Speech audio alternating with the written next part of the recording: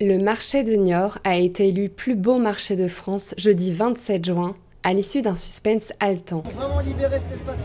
Il jouxte un donjon du XIIIe siècle. Nous sommes à Niort qui remporte donc le concours du plus beau marché.